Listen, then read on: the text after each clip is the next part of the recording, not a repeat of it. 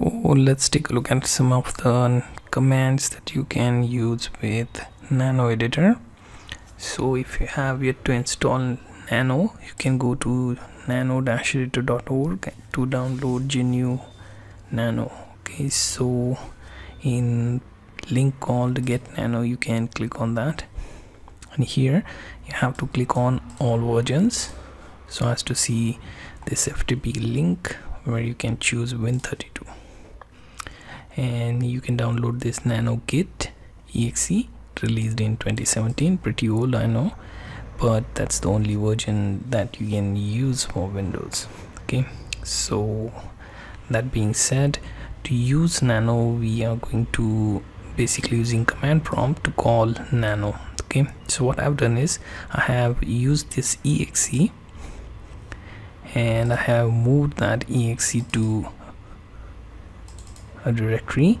Okay so this div directory is where I have moved this nano and added this path in Windows system path. Okay so by doing that I can call the nano from any directory as it is in system path. Okay so let's see. I'm moving to this drive E to demonstrate you how it works. Simply type in nano and that should open nano editor. Okay so let me type in this is just demo for nano editor for YouTube channel.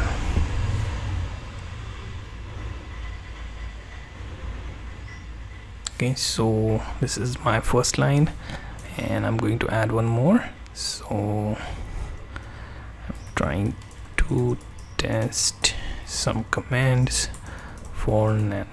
Okay so the first thing that I want to show you is control A.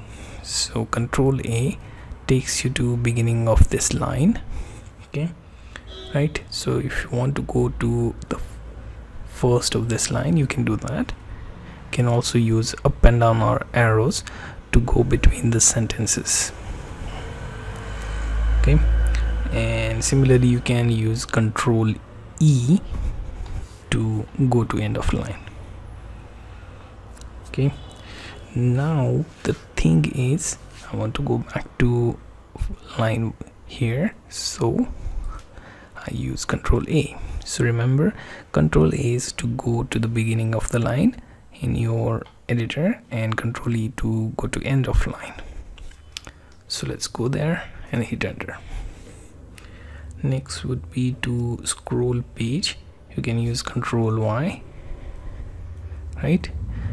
It does the same operation like up and down arrows right? So control Y for page down control V that takes you one right?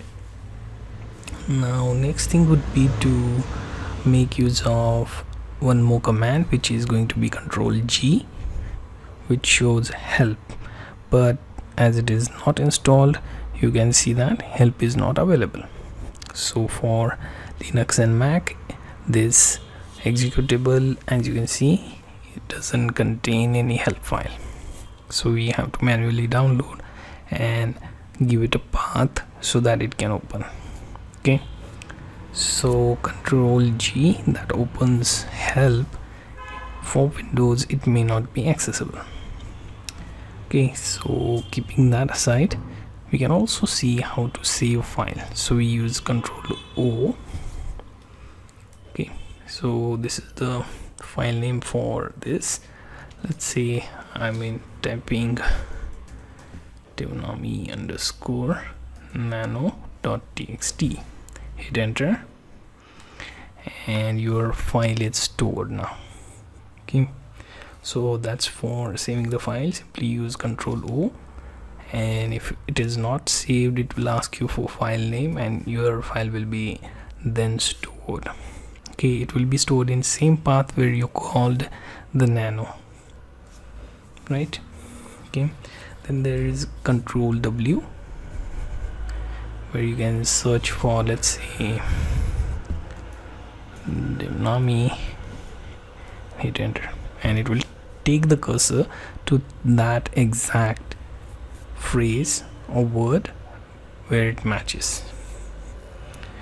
Then also you can use control K as it cuts. Okay. And there is suspension is not available that's also noticed okay? So as you can see if I use control Z it says suspension is not enabled. So we have to do that manual setting okay? So after that we can also take a look at paste okay? So before paste you can also see control J if it justifies okay so it doesn't actually has key set for that. So I can't justify this unless I have bigger paragraph or so. So for a single line it may not show the justification result. Okay. Now if I use control C it should show me current cursor position and it will also tell me where exactly it is. Okay so after that we can also take a look at control W for initially searching that phrase and then you use control forward slash to replace. Okay. Then comes control T. So let's see if it checks. So by default the Windows version doesn't have this control T which is meant for spell check it's not there. Okay. Then we have control underscore. So let's try that. So control underscore will go to specified line and column number if we specify right? So currently with single sentence we don't have that much option okay that's not working either. Finally what we can do is we can use control X and it will ask me if I want to exit. I'm going to say yes and save the file and it will store that. Now we can use typical exit to also exit from the command prompts as well so this was small demo for you to check out nano commands that you can use for your text editing